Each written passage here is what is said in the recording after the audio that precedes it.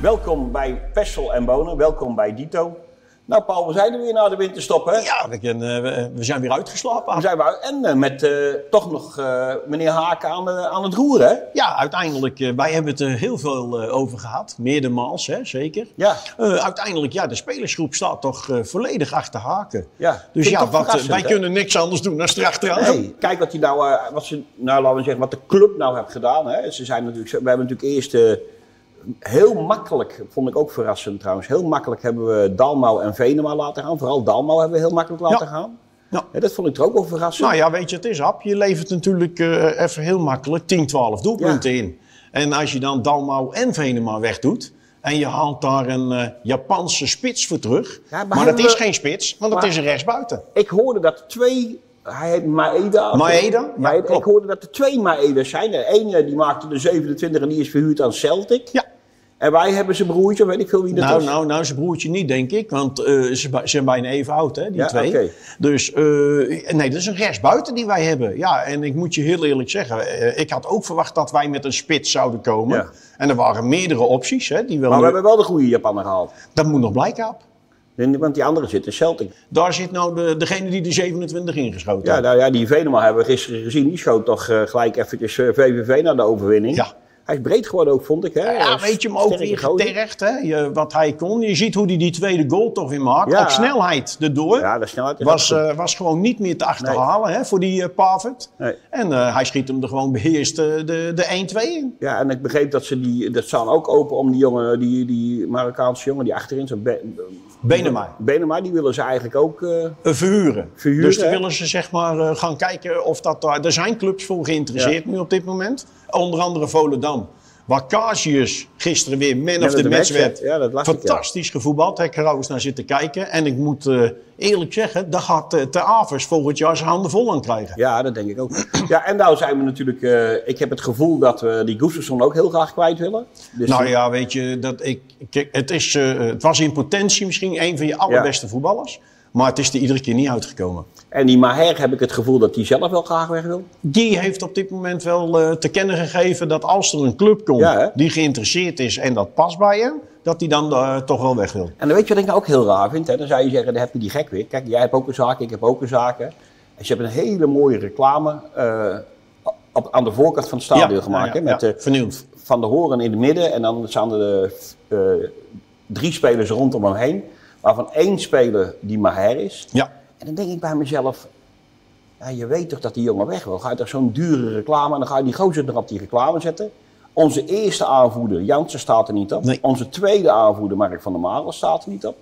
Dan denk ik bij mezelf van, eh, zouden ze daar nou niet over nadenken? Of zou dat maar gewoon iemand zijn van de afdeling, nou, nou, we moeten er een, eh, een Nederlander op zetten, we moeten er een donkere speler op zetten en er moet ook een Marokkaan op. Ja, ik denk eh, dat de marketing wat dat betreft ja, eigenlijk de spijker misgeslagen heeft. Hè? Hij had even wat eh, langer nagedacht moeten worden over wie zetten we op de voorpauw. Ja, het is wel een hele mooie reclame. Het is een supermooie reclame, maar je uitstraling eh, had met wat andere spelers eh, net zo geweest. Ja, al. dat denk ik ook. En ik vind het raar dat je aanvoerders er niet op staan. Vind ik Ja, nou, dat is wel een teken aan de wand. Want dat zegt wel iets over wat voor weg Utrecht in gaat slaan. Ja, ja, ja die, daar zijn Zo kun je het ook zien, hè? Ja, dus, dat, dat, dat bedoel ik ook. Hè. Daar zijn we dus klaar mee waarschijnlijk. Dus, hey, en dan hebben we natuurlijk het, het ja, misschien toch wel eh, de kers op, eh, op het gebak. Ja, Iatare. ja, ja, ja, ja. wij hebben hem eh, al meerdere keren aangehaald. Al. Ja. Om precies te zijn, 12 november zijn wij erover begonnen. Nou, jij kent zijn zaakwaarnemer heel goed, begreep ik, hè? Ja, hij heeft meerdere zakenwaarnemers gehad in, Ja. in dit geval. Ja, en ik hoor nog wel eens links en rechts wat. Ja, en toen wist ik al dat hij eigenlijk best geïnteresseerd was om in Utrecht te komen spelen. Om dicht bij zijn familie te zijn. Ja. En gewoon weer lekker met voetballen bezig te Ja. zijn. Ja, toen heeft eh, Utrecht niet doorgepakt. Hè. Die hebben even gewacht van eh, hoe eh, zit het met Ja. Haken? Hoe gaat dat verder? Wat voor trainer krijgen wij? Ja. Ja, de trainer moet er ook maar mee instemmen dat hij natuurlijk Iatare hier Ja, wil hebben. nou goed, hebben we Want hij staat bekend als een vervelend jochie. Maar als je hem gewoon zo ziet op televisie, lijkt hij me helemaal niet zo Nee, vervelend. me ook helemaal niet vervelend. Alleen weet je wat dat is? Als je hele goede 18 voetbal... jaar zijn vader. En, en, ik en wou je net weet, zeggen. en voor iedereen is dat moeilijk, maar bij een Marokkaanse gezin is dat dubbel zo zwaar. hè? En, zeker. En dat die jongen graag bij zijn moeder wil zijn en bij zijn familie. Ik vind het eigenlijk wel heel normaal. Ah, het, zou, het zou fantastisch zijn voor de club als wij met uh, Iataren natuurlijk eh, de tweede helft van de competitie in kunnen gaan. Ja. Het scheelt je als we weer publiek mogen hebben. 1000, 1500 man extra die zeker komen om zo'n voetballer te bekijken. Ja, ja, ja. En je, een beetje te dat je zelf, Paul, je goed kan voetballen, dan maakt het niet uit of dat je linksback zit of linksbuiten. Nee, weet je wat alleen wel jammer is, Ab? Wedstrijdfit geraken. Hè? Als je iedere keer een half uurtje maar speelt. En dat wordt dan een keertje 35 minuten, een keertje. De, de kans op blessures die zijn altijd uh, aanwezig. En dat zou ik wel heel jammer Ik begrijp vinden. dat je wel, want jij hebt zijn, uh, die, ook diegene ja, die... Um, ja, die uh, personal trainer van, van Mo. hij moet wel fit zijn, begrijp ja, ik. Ja, die Jordi Best, dat is echt een, een topper op dat gebied. Hij heeft al veel voetballers wedstrijdfit gemaakt.